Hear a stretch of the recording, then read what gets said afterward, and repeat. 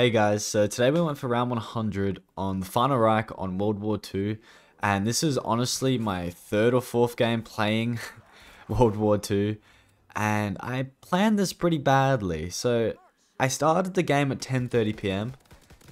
As I'm currently doing this voiceover, it is 6:42 a.m. and hence why I didn't um, don't have live commentary. I'm sorry guys. It's just for one, I was like, this is probably gonna take a while. Two, this is going to be very hard seeing that I've never attempted to go for a high round on this game. And the reason I never played this game before this year is because I had school and stuff on at the time. And also I had a girlfriend and somewhat of a life these days. it's not looking good for me in the in the having the life category. Uh, but yeah, going for round 100 in this was surprisingly very fun because I was like, maybe I shouldn't. It's very late and I know by the time I finish it, it's gonna get to what time it is now. But I was like, you know what? I'm not a pussy. Wait, that's not sexist if I say pussy, right? I don't know. I don't think it is, right? I don't know. I don't mean it to be. I'm not a weak person. Weak person. Let's just say that.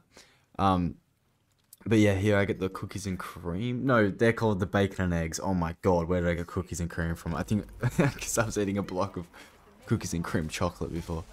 Uh, this is the the step where you just like turn on the altar and stuff and then we end up getting the wonder weapon. And then we have to do a few steps here. We actually upgrade the wonder weapon to the green version. I don't even know what the green version is even called i'm not gonna lie. So we upgrade it to the green version. We get the bacon and eggs. Uh, we use this field upgrade. Honestly i'm pretty clueless with world war 2 so i'm surprised it, it's actually not the hardest game in the world. It's it's actually very average. It's kind of a good level of skill. It's not too hard, but the bosses are kind of painful and they make it a little bit more difficult. The armor system's actually really good. It's it's actually a very well balanced zombies game, I must admit. It just takes a little bit longer than I think feel like it should. It, it's a bit painful in that matter. Just once you get past basically round 40, it's like, oh, this is well, yeah, I, I won't spoil anything. But uh, these uh, bacon and eggs are awesome because you don't actually have PhD in this game. So the fact that you spawn with PhD, well, once you get the bacon and eggs, it's PhD automatically on. But there's one thing I will say about this game that I dislike. Pros well, there's two things really. The first thing is the music. I don't think I've ever found a Call of Duty game's music to be like annoying, but in this, I actually had to like put my headphones off because I was playing for so long. I guess that adds to it. But it was very like jarring, and it was it was quite borderline scary. I'm not gonna lie because I don't really get scared. I n I've never gotten scared watching movies. I don't really get scared in real life. Like I'll go for a run at midnight in the bushes. That sounds very sketchy, but like around my park, you know, and there's probably some homeless people around there with their knives out. Like I don't get scared of that kind of stuff. I get scared when I'm playing video games though, because I don't think it's the fear of the thing in the game killing me like in real life.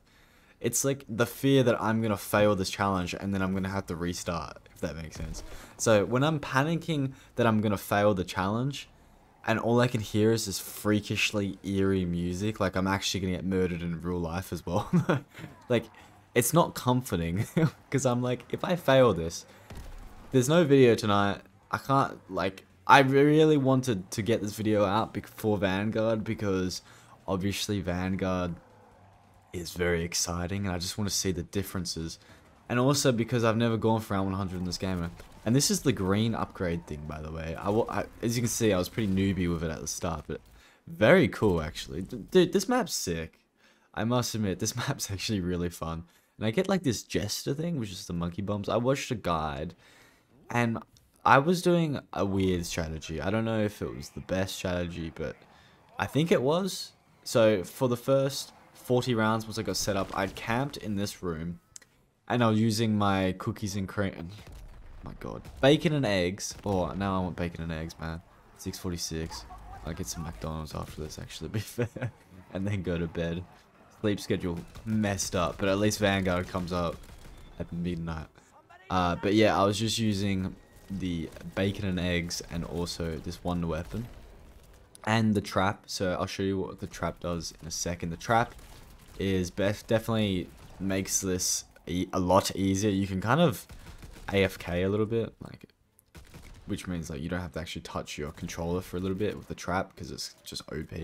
But you do always have to be like somewhat aware. And then we get the uh, insta kill the pistols, which was amazing here. And I think this is where the spawns are the fastest, or it might be the first room.